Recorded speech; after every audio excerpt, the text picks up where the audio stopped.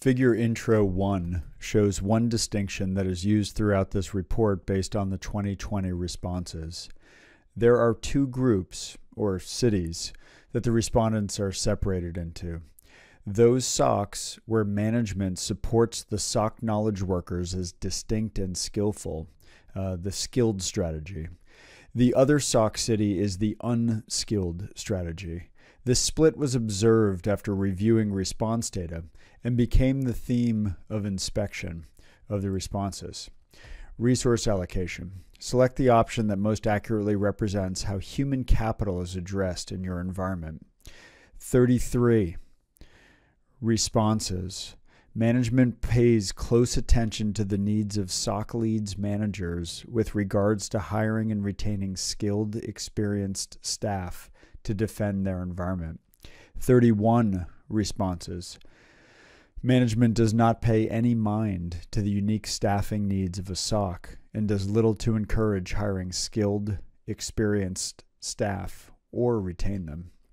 Figure Intro 1. Numbers 94. Human capital attitude. Column is 97.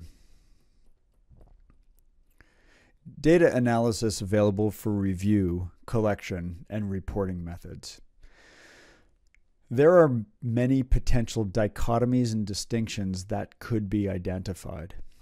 A spreadsheet is available for download and is freely available to use for derivative works with appropriate citation.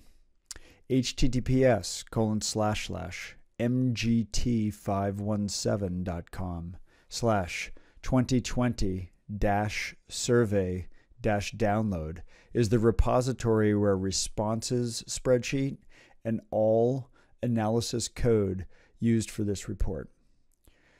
This link shortened URL or https colon slash slash soc survey.com is suitable for referencing this report, where it will remain available for download. The Jupyter notebook used to create all plots is also available at the URL for double checking all work if you choose to. The survey responses were collected via a Google form, and the response collection was downloaded in the form of a spreadsheet.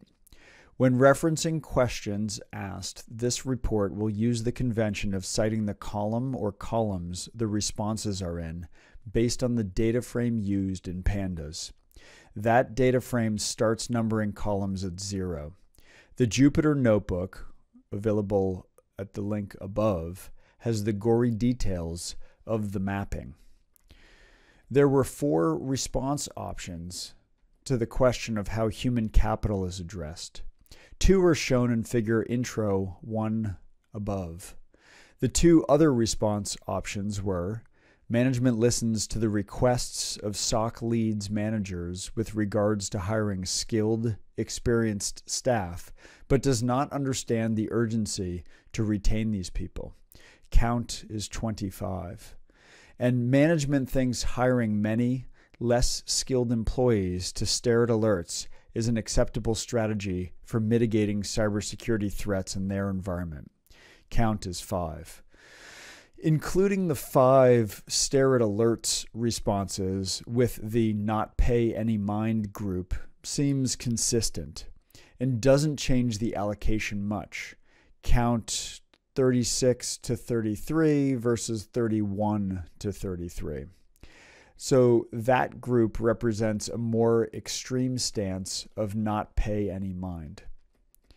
The notion that effort is made to hired skill people but not retain them seems at odds with itself, which is why it isn't depicted as a third city in this paradigm of explanation if you allow the city as a metaphorical substitution for the strategy of managing a SOC, this third group represents the broad expanse between the two cities, scrubland of little recognizable or describable character.